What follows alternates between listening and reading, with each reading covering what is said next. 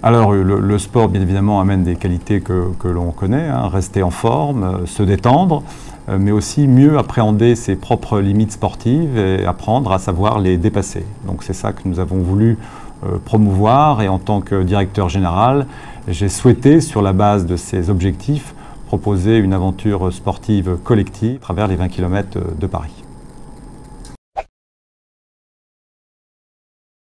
Le running qui est accessible à peu près tout le monde, hein, il n'y a pas beaucoup de matériel à acheter.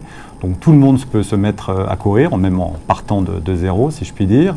Après 20 km, parce que la distance permet justement de se dépasser, on peut presque tous courir 10 km sans trop d'entraînement. 20 km nécessite de se, placer mentalement dans la bonne disposition, de s'entraîner, de se motiver.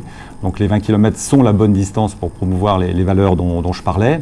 Puis après Paris, puisque les 20 km de Paris se courent dans Paris, intramuros, et donc la ville est magnifique et je dirais le cadre est absolument euh, sublime pour cette aventure euh, sportive collective.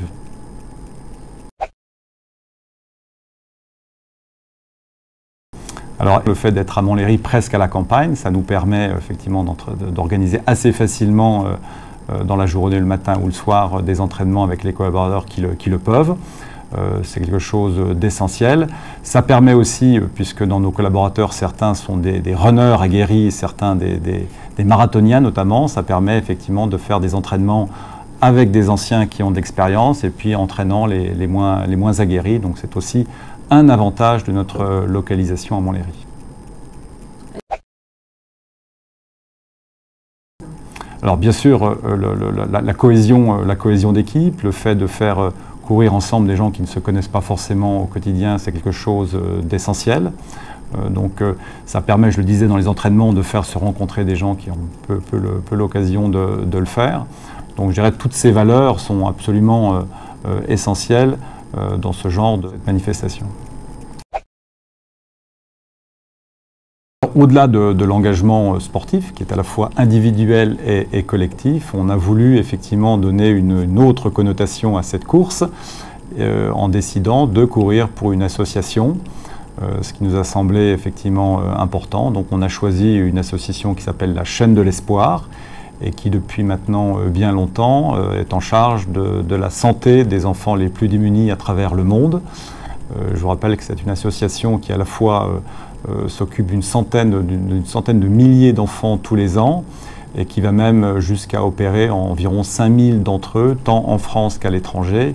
Euh, donc des enfants qui sont principalement démunis. Donc c'est une belle cause à laquelle nous avons voulu euh, nous lier en participant aux 20 km de Paris avec la chaîne de l'espoir. Alors moi, bien évidemment, je me dois de donner l'exemple, mais c'est aussi un plaisir. Donc ça va être la, quatrième fois que je ferai les 20 km de Paris. Je l'ai fait euh, en individuel euh, avant de le faire euh, pour Eneria. donc ce sera avec grand plaisir que je retrouverai tous nos collaborateurs et on va essayer d'en avoir le plus possible cette année. Je crois que nous étions une petite quarantaine l'année dernière, donc on va essayer de battre ce record. Et, encore une fois, c'est un plaisir de pouvoir courir avec des collaborateurs que je n'ai pas forcément tous les jours l'occasion de voir. Et, on va déjà commencer par essayer de s'entraîner un peu ensemble avant euh, la date de la course. Donc je fais un appel à tous nos collaborateurs, je souhaite que le plus grand nombre euh, y participe pour cette édition qui est, je crois, la 40e édition des 20 km de Paris.